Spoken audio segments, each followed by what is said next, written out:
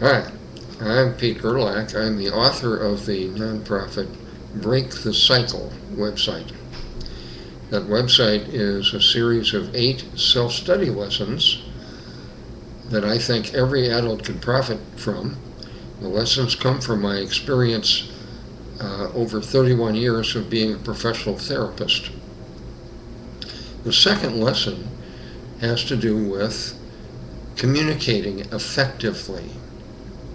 You think of yourself as an effective communicator in all situations with all people? In my interaction with thousands of adults and kids and parents and families and couples, my observation is probably less than 10% of average people, college educated or not, know how to communicate effectively. Moreover, they don't know what they don't know about effective communication. That's why Lesson 2 exists. What is effective communication? That requires you to know why do we communicate? Pause for a minute and see how you answer that question. If a 14 year old kid asked you, why don't we communicate? What would you say? What I now say is, well, we communicate in order to reduce or fill up to five needs. A need is a discomfort uh, physical, psychological, or emotional, even spiritual. We communicate to reduce or fill needs. What needs? The first need is the need to feel respect from yourself and your partner. It's one reason we communicate. Did you know that? The second need is to vent. The third need is to give or get information.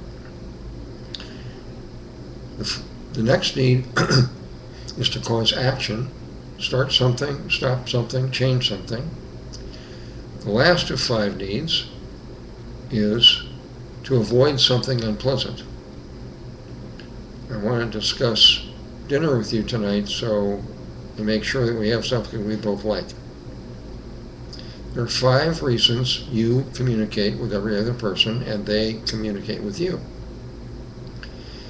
Effective communication then occurs when both people get their current needs met well enough in their own opinion. Sounds simple, right? It's not. There's a second requirement for effective communication that you already know, but you may not know you know. Have you ever gotten your needs met with another person and yet felt bad about the process you had with them? Maybe they were disrespectful, or you were sarcastic, or you somebody raised their voice, or you controlled each other, or manipulated, or something like that. The second of two requirements for effective communication is that both people feel good about the process that went on inside of them, inside of their partner, and between them, between you, between you two. You got your needs met, you feel good about the process. There are three things you need in order to achieve these two objectives. First, you need your true self to be in charge of your personality. That will make no sense to you until you study lesson one in my website. You may be used to being controlled by a false self, in which case you won't know you have a problem, but it often means you cannot achieve getting your needs met in a way that feels good enough with other people. So you need your true self to be in charge consistently, and you need ideally your partner's true self to be in charge of her or him. That will give you the best odds of the second thing you need, which is awareness. Awareness of what? You need to be aware in important situations, not whole hum situations, but key situations. You need to be aware what do I need here? Why am I communicating? And why are you communicating? You also need to be aware of the process that's going on inside of you. For instance, am I centered? Am I focused? Am I clear minded? Am I thinking effectively? You need to know those things as you're communicating. And your partner needs to know those things about him or her. So you need to be aware of what's going on inside of you, inside of your partner, and between you. You need your true self in charge, and you need two levels of awareness. That's what you need for effective communication. What happens if you don't have these requisites? What happens is you have, in important communication situations, you have one chance in 16, 6% are the odds that you'll communicate effectively. You and your partner will both agree, yeah, that was a good communication. How does 1 in 16, where does that come from? There are 16 possibilities between you and any person at any time. You get your needs met, they don't. You feel good about the process, they don't. They feel good about the process, you don't. They got their needs met, you didn't. The best possibility is only one out of 16 chances, which is I feel good about the our process, and so do you. I got my needs met well enough, and so did you.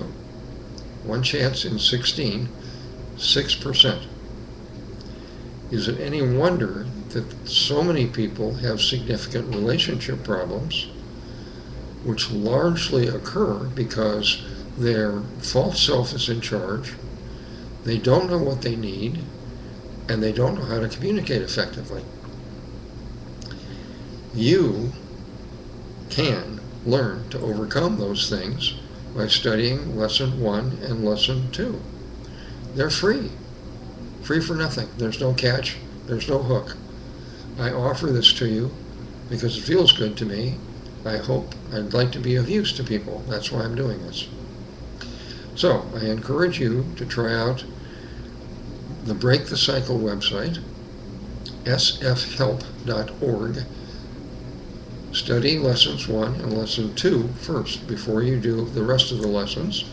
if you have any feedback on the site, the web page, the concepts, at the bottom of every web page is a link that says contact. That will raise a um, window on your screen where you can communicate with me. You can give me your information. I'd be glad to receive it. I hope you learned something useful here and that you take a high interest, especially if you're a parent, because your kids need to know how to communicate effectively. I hope you'll be motivated to teach them. Thanks for watching.